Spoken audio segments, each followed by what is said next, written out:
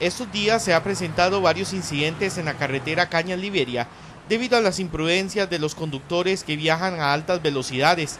También otro de los problemas es que muchos piensan que toda la carretera está habilitada a cuatro carriles y se les olvida que solo es el tramo entre Bagaces y Liberia.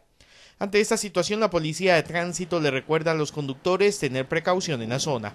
La carretera no está terminada, los, eh, los 50 y algo de kilómetros no están terminados, hay una parte que está a cuatro carriles, pero la gente pues eh, habilitamos esa parte y está siendo vigilada con policía de tránsito para que haya pues eh, mejor tránsito, pero no es para que excedan los límites de velocidad y hay que recordar que en algún momento se vuelve a unir a, a un carril por sentido y entonces ahí es donde debemos de tener el cuidado suficiente. ¿Para qué arriesgarnos corriendo mucho? No vale la pena y pues tener la prudencia.